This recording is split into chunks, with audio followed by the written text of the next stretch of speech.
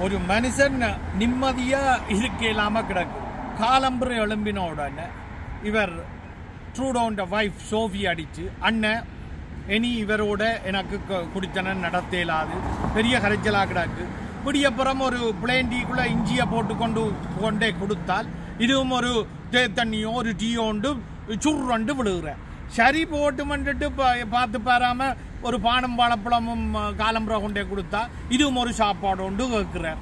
என்னென்ன செய்கிறது? இந்த ஆளோட என்னால் குடித்தனன் நடத்தேலாது என்று அழ துவங்கிட்டான் நான் பேசி போட்டு சரி ஆறுதல் வார்த்தையை சொல்லிட்டு வைக்கல. உடனே அவர் அடிக்கிறார்.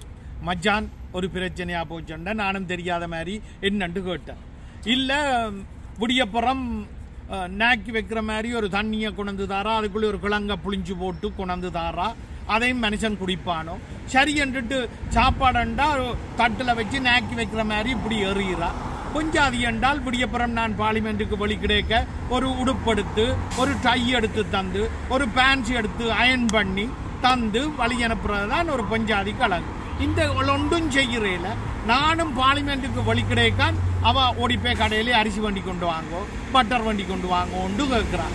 இது ஒரு பொம்பளை ஒரு குடும்ப தலைவி செய்கிற விஷயம் ஒன்று கேட்டான் எனக்கு சுருண்டு மண்டையில ஏறிட்டு. பிடிச்சி பேசி பேசண்டு பேசி போட்டு. நான் சொன்னேன் நாட்டுக்கு முன்மாதிரியாக இருக்க வேண்டிய நீயே இப்படி செய்தால் நாடு எப்படி உருப்படும்? நீங்கள் புருஷன் பொஞ்சாதி என்றால் ஈகோ இருக்கக்கூடாது. புரிந்துணர்வு இருக்க வேணும். ஒரு ஆள் சொல்றதை ஒரு ஆள் கேட்டு நடக்க வேணும்.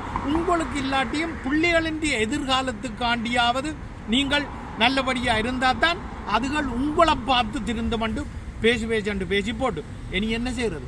இப்படியே விடுறது. விடவும் மேலாது சொன்னேன் சரி நடந்தது நடந்து போச்சுது.